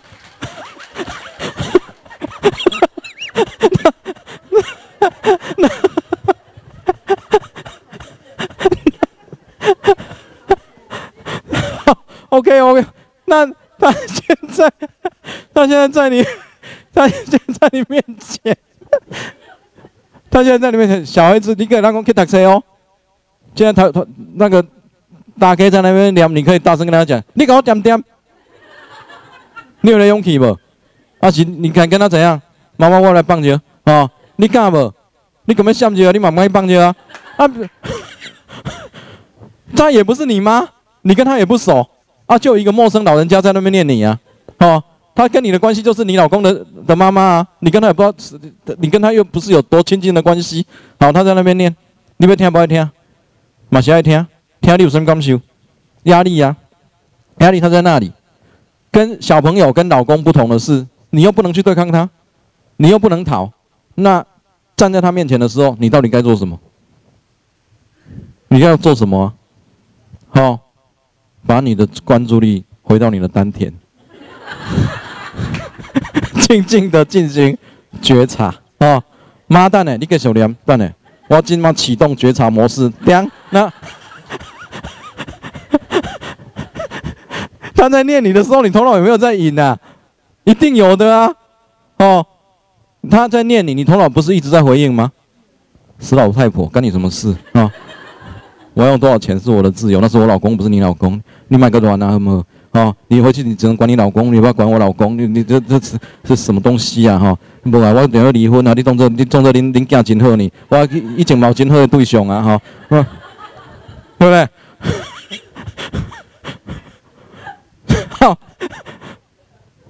你们两个不吵架，而在无形中吵架。这个时候，哎。你知道我们很多人因为这样最后生病嘞，他一直在听啊，一直在听啊。你怎病？你怎让你病没？有什么登革热蚊子啊？有什么埃及斑蚊？你都直接看到那个病一下，病源是婆婆呀。好，那 他不是病毒，也不是细菌，他有时候比细菌还毒啊。好，啊，不是每一个都这样了，因为有时候我们在课程里面很难讲，因为有有人演讲完了起来说，老师我是婆婆，你这样一直批评婆婆，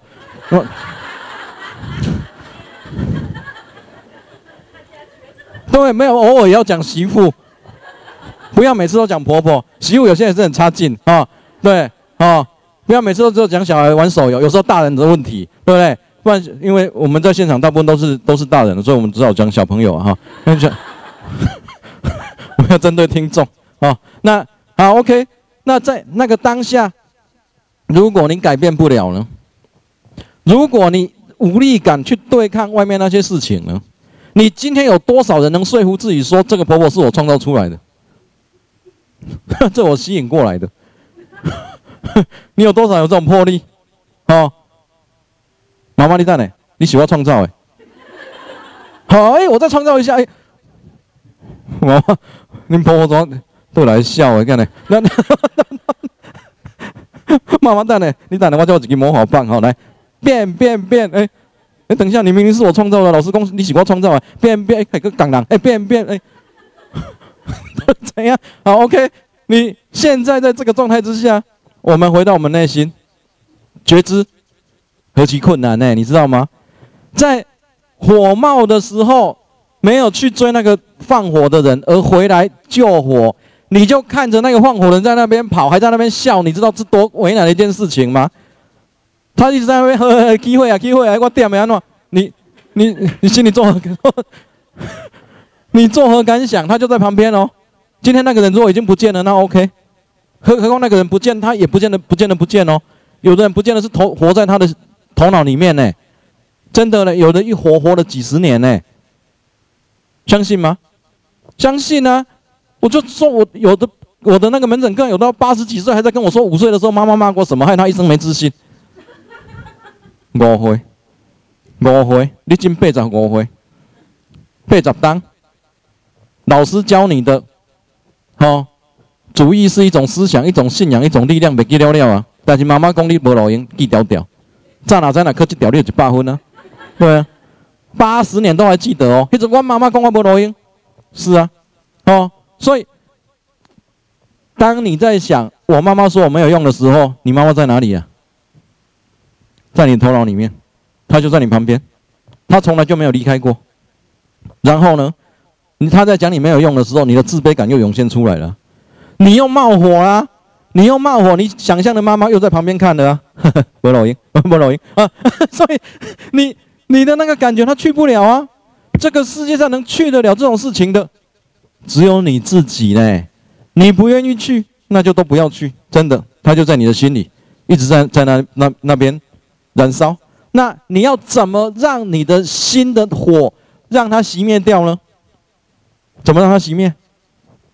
我真的跟你讲，就只有觉察这一条路。觉察到底要怎么觉察啦？他在骂你的时候，你头脑里面到底产生什么感觉啦？什么感觉？不舒服，不舒服。他夹带什么感觉？愤怒，对。那里面还有什么感觉？你觉得你受害了，你受伤的那个感觉啊，对不对？因为他在骂，他在念你啊。你觉得你委屈了？你觉得你受害了？你觉得你受伤了？你觉得你受害跟受伤那个感觉是人的一个本身的一种感觉嘛？它是许多人都有的啊，对不对？那是存在于人内心的一个基本的感觉啊。请你了解是人哦，是人。你今天如果去骂一只狗。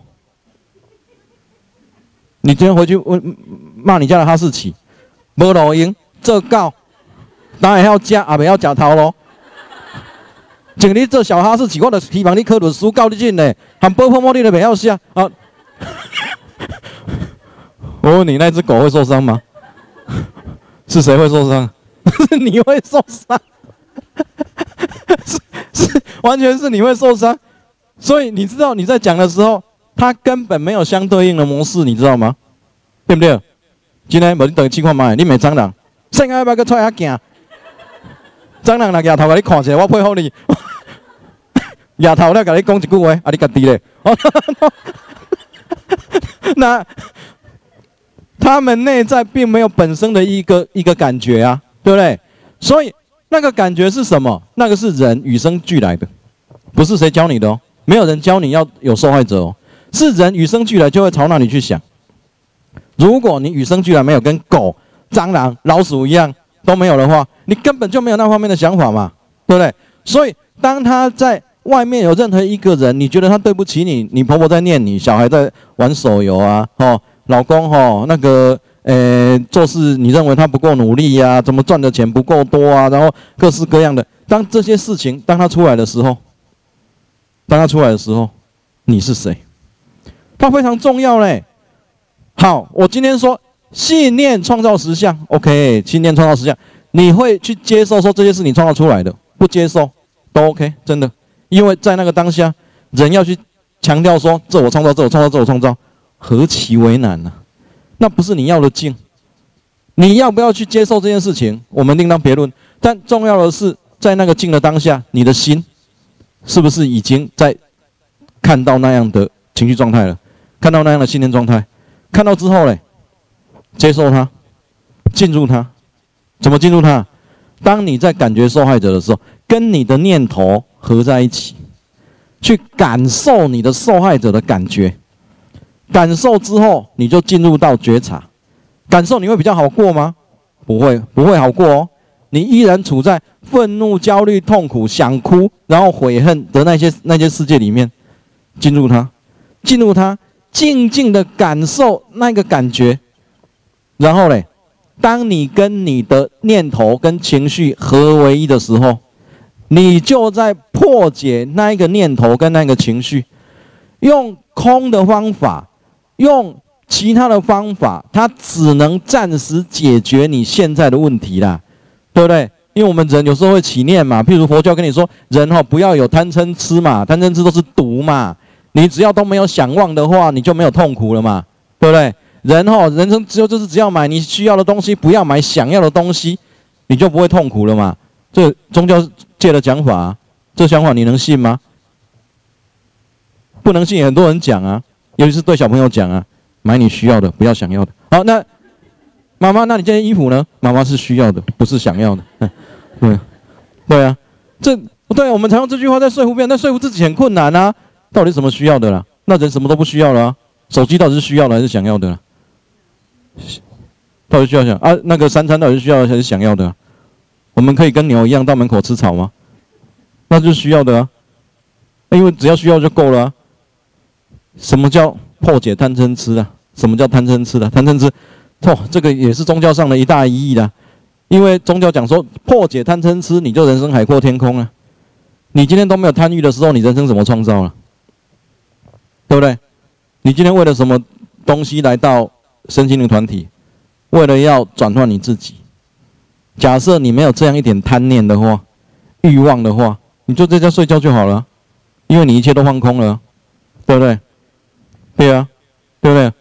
出门你就得穿衣服啊，你可以随便乱穿吗？对不对？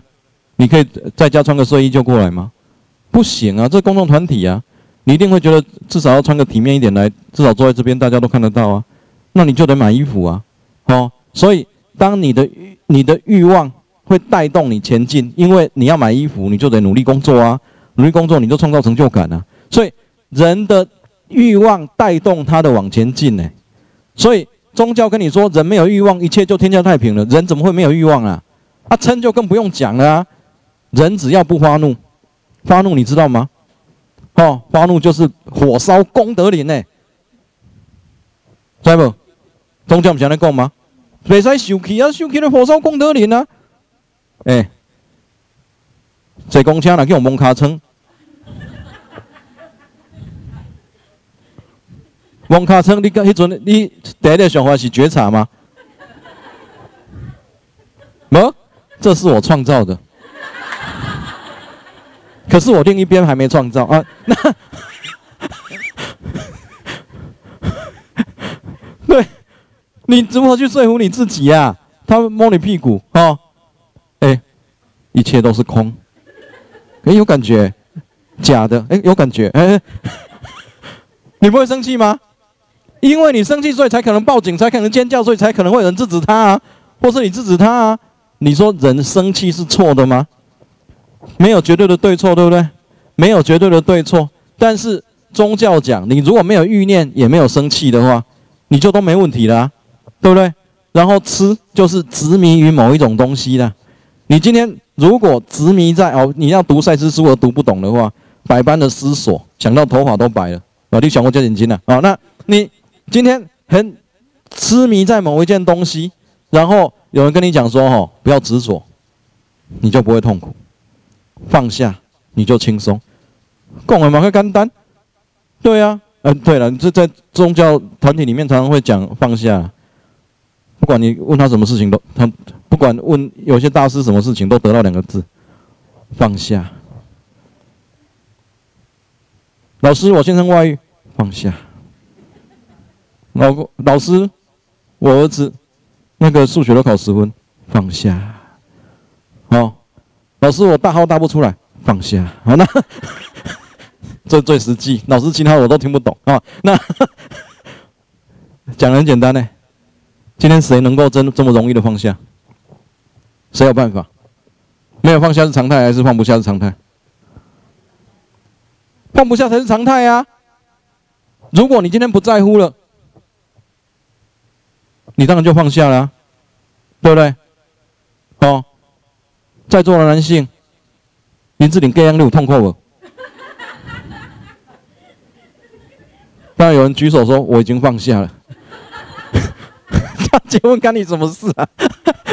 不干你的事情，你当然容易放下；干你的事，你当然就不容易放下了，对不对？不关。不干你的事，你你有什么放下不放下的？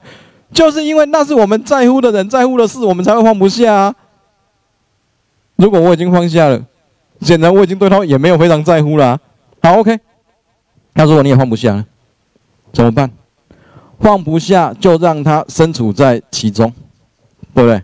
身处在其中干嘛？进入觉察嘛，进入觉知啊。觉知什么？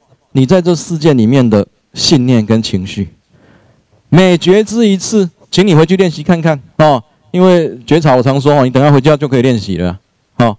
因为等在你家的人都没有学过赛斯哦，那他们 他们正在等着你哦。那你回去之后，真的真的，你真的哦，你在人生修为上的道路进步，不是因为老师，不是因为坐在这边的，也不是同学，而是你家那几个哈，他们正在等你哈。那。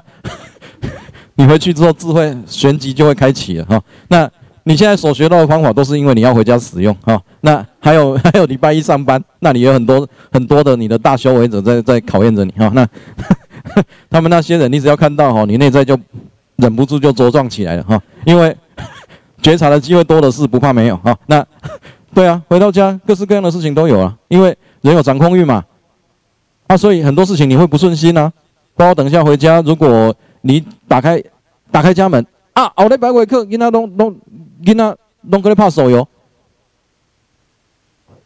妈妈，你你为什么上完课马上回来？你不是应该在外面逛一下吗？你这么快回来，我们都还没有收哎。啊你，你们到底有没有读书啊？读完了啊？都会了吗？会了。拿来我看看。不用，我们自己看就好。到底是怎样？是啊，这个时候。机会来了，刚刚都没有白听课，完全就进入觉察的状态。会起多哦，那这个时候，想我看呢，我生气啊！在你那个极为生气的状态之下，觉察的机会来了。为什么？他没读书，你受害；他玩手游，你受害；他没洗澡，你受害；整个房间乱七八糟，你受害。所有的东西，你都受害了，你都受害了。对啊，你今天如如果回到家。你赞成蓝，老公在看绿的新闻台。你今天如果赞成绿，老老公在看蓝的新闻台，你也受害了呢。我让他快点点洗的受害，你知道不？哦，行呢，点击看你要处理的洗，和你关照啊那里。好，那这个就是这个就是人。好，看到的时候觉察，觉察了之后，让你的心慢慢的安定下来。每经过一次觉察，你的心都会更更稳定，更茁壮。要练习多久？前几个月练习比较慢呐，后面慢慢练习你就越来越熟悉了。反正火来了，觉察，灭熄你的火。外面呢，还是继续在进行。你会讨厌外面吗？还是讨厌？但是那个讨厌的浓度越来越低。为什么？因为你越来越往你的内心走了啦，对不对？下次婆婆在念的时候，以前你都是愁眉苦脸，下次她在念的时候，忍不住露出一点笑容。是啊，因为你已经进入到自己的世界里面了，没有在完全被他的世界所笼罩，它变成一个你的一个修为的关照的一个借镜，而不是一个给你施加压力的一个完全来源。因为压力的来源在我们自己，对不对？所以，我们其其实所有人在看待别人的问题都是轻松的啦。哦，因为我们我我们知道很多人在抱怨的时候，哎，我讲好，弄完弄完打开弄完弄，你知道很多人在听的时候都是都是跟你讲说，其实很难过啊，我哪能处理的好？那对不起你呀，那是你你完了完全无都处理，你哪来喂？更加拖三点哦，天哪，哪里的个性我了解哦。唔，根本嘛不一定啦。哪里哪里来哦？我大概跟中风啊，没问题啊。对，是啊。所以，我们每一个人，我们每一个人哈，在看别人的事情很简单，但是回到你的内心的时候，就是觉察，真的，慢慢的去觉知你自己。好，这个就是觉察。然后，当你这个练习完之后哈，第三个我们要讲的是静心。静心它重不重要啊？静心它很重要。你不要把今天讲的太复杂，你现在就可以做，不要做，因为我还在讲话。好，那 你现在静心，我白讲了嘛？好，那所谓的静心，它是什么啊？让你的意念休息，真的，让你的意念偶尔有放空的时候。人是一种非常喜欢使用头脑的动物，对不对？人非常的爱用头脑。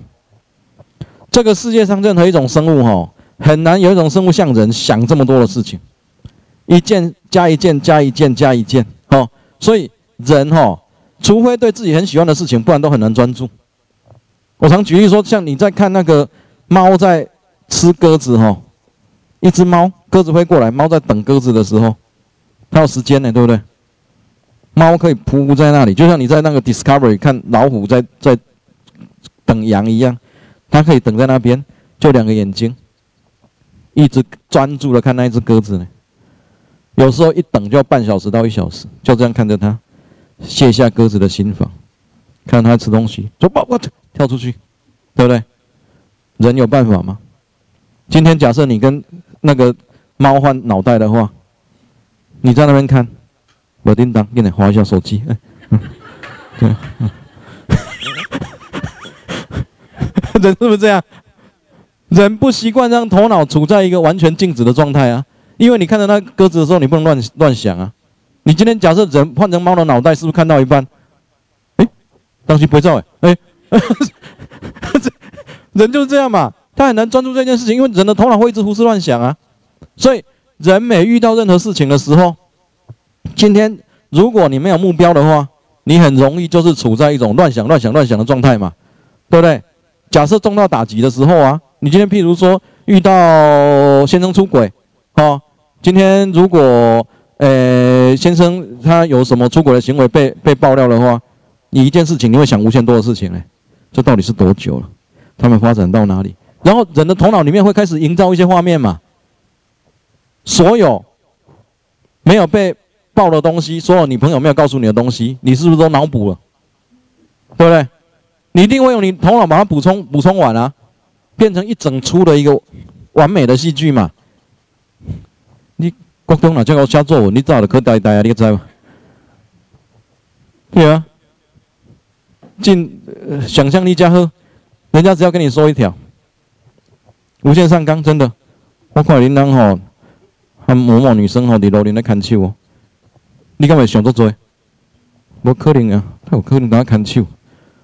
不知道在哪一间摩铁啊，然后再找到三年前的 IG 哦，再找到三年前的 FB 五哦，五七的人哦哦，哎，这还有修改过哦，不对劲哦，就是他哦哈，那然后嘞，越想越焦虑越紧张，你可以去找你老公对质吗？你也会超厉害，一定可以全部矢口否认的，对不对？他只会跟你说对不起啊哈，那其他的 其他的他也不知道跟你说什么啊，然后你就一直要问他问他问他，但是。没有办法，可是你头脑里面一直在脑补啊，所以遇到重大事情的时候，哈，你知道，其实真正人的痛苦并不在外面那件事情，哎，都是在头脑里面呢，一直想，一直想，一直想啊，对不对？癌癌症恐不恐怖？癌症恐怖，但比起癌症更恐怖的是大脑，因为医生只跟你讲，你得到癌症，医生很难想象，因为医生很多都没得过癌症，他不知道你头脑子。啊，医生个个得过癌症，你敢去看你？那你医生大部分都没得过癌症，所以他跟你讲癌症之后，他有时候无法想象你的头脑里面竟然是那样想的。哎，是，没看到已经变外医生吗？啊，过来帮他开刀，开刀了化疗，化疗到头毛，头毛了，那头毛了，就像出鸡了，就讲，啊，过来是要安怎？哦，啊，过来，我我如果死，我我我如果这样会不会死掉？哦，死掉我小孩怎么办？我老公看他德性，就不可能好好善待小孩，他不会再娶，到底怎么办？哦，人头脑就开始胡思乱想了，想鬼多片。哦，这个病一看电话来，啊，派谁误诊？哎，那么恁啊，还我加想呀？好的，那 头脑不会这样，会乱想啊？是啊，尤其是在面对这种疾病的啦、感情的啦，哦，感情人哦，真的脑补能力超强哦，哦，每次都是收到一点蛛丝马迹，然后就把那个，如果已经有人跟你讲哦，你你老公跟某个女生在路边接吻，你开接下来哦。你开车经过整条马路上的摩铁，每一间都想象他们在里面。好了，这样就好，因为有小朋友在现场。那你，你，你今天这些这些画面脑补好，一个头脑没有目标的人，很容易流于这个状况。头脑不停的在思考，一直在思考，想想想想的全是什么？乐色。你的头脑变什么？乐色桶。然后想了一个礼拜变乐色车，再想了一个月之后乐色场，好，那这 你鬼人哦，鬼堆了笨堆了，我总不弄起来的，你不要以为他没有力量嘞，信念创造实相嘞，思想是有能量的嘞，整堆哈超光光说姐姐来的，所以想久了，你看三不五十头痛发作、头晕发作啊，因为他想很多，那该怎么办呢？偶尔要让自己留下一点静心的时间，静心就是什么意思？静心就是把你的注意力移到你的丹田，或你的鼻头，或你的胸口，然后从一数到十，从一数到十，干单不干单？不干单，因为你的头脑那个垃圾堆要把你拉回去，但是你再把它拉回来，哎，你一拉回来，那个垃圾就在自然蒸发，啊，你的思想它就慢慢的少，慢慢的少，思想越少，你人越轻松，因为人哈，头脑里面囤积了一大堆思想，把你的整个头脑都降住了啦。天该被死，真的，因为所以我们人哈，每天在一些时间里面，你不见得要花时间三十分钟、四十分钟来静坐，如果有更好，如果没有嘞，没有事的时候，把你的意识焦点稍微拉回来一下。你没有整天都那么忙，你也没整天都要划手机啦。你今天如果如果出门哈，在那边等排队啦、等给摆啦、等检收给，那时间不能静心吗？三号，三号，我在静心啊，那。你你不能静一下吗？会得在那边一直想吗？你玩手机眼睛也会累，好不好？所以稍微让自己稍微静一下，稍微静一下之后，你的头脑的思绪会比较单纯一点，你的灵光会比较打开。哦，第四个就是爱，爱就是大家看一下时间啊，不然我怎么装那个 tempo？一二三四要讲完啊。好，我总不能到四点的时候拍摄个熄掉功能电话跟冷电话没讲哈，别听老了来爱高级。好，那你好那四点。第四个就是爱，爱是什么？爱自己。爱自己，它是一个人的一个很重要的修炼过程啊。我们这个世界上大多数人哦，自卑了，没有行动力了，看不起自己啊，觉得自己不够好了，是不是？一大堆人都是这样。哦，你今天学历再高，你有没有可能到台大，你还是还是觉得自己很自卑啊？五科领啊，因为你台台大，我们跟你敬拜啊。哦，那你。因为人只要要找自己，一定会找得到缺点存在啊，对啊，一台台大六可能给我们棒杀不？一台要 POS 马可能给我们棒杀啦，对不对？你这个礼物马可能给我们棒杀啦，你搁在公司 CEO 你马可能不能来啊，对不对？你马跟跟这个公司 CEO 一世人拢没给我们对鬼啊，对不对？是啊，你心里会有什么感觉？我不够好吗？我不够好吗？好跟不好，它决定在哪里呢？自己的相信而已嘛，对不对？跟跟跟信心明修讲啊，他只是自己的相信而已啊。你如何来培养这个从不好变成好了？你如何学会爱你自己啊？你如何看到你自己的内心的那些你不足的地方，然后觉得其实我也很好啊？对啊，我觉得我自己不够好，但是我很好啊。能不能？是啊，我觉得我自己不够好，可是我全然的接受我自己。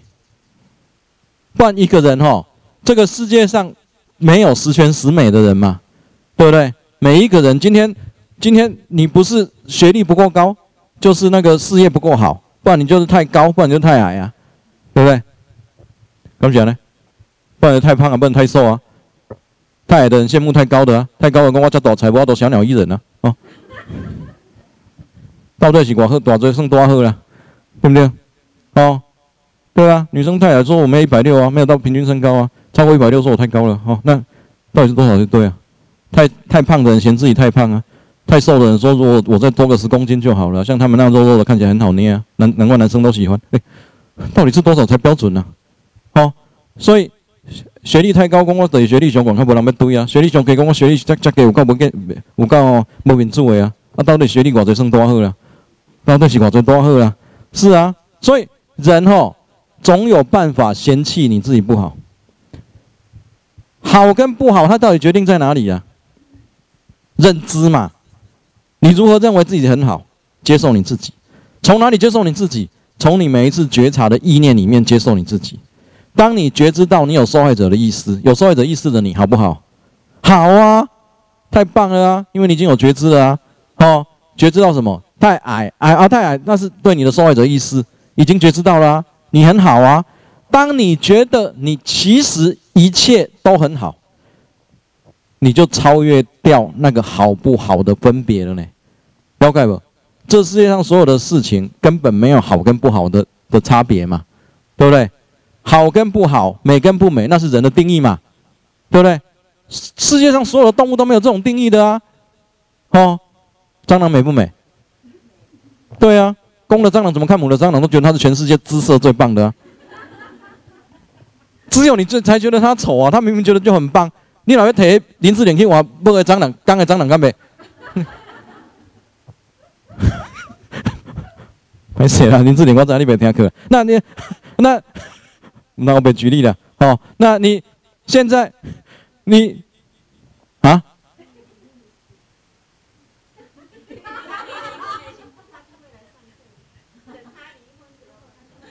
为了要帮他上，我会学日文。好，那。我明天起教学日文哦，为了有机会帮林志玲上一下课哈。好，那 好，那所以我们哈自我觉知，自我觉知之后，你认爱自己，全然的接纳自己，接下来就是努力创造自己的人生。因为当你的内在已经慢慢的安顿之后，接下来更重要的爱自己，就是你的目标在朝哪里，你就往哪里去创造。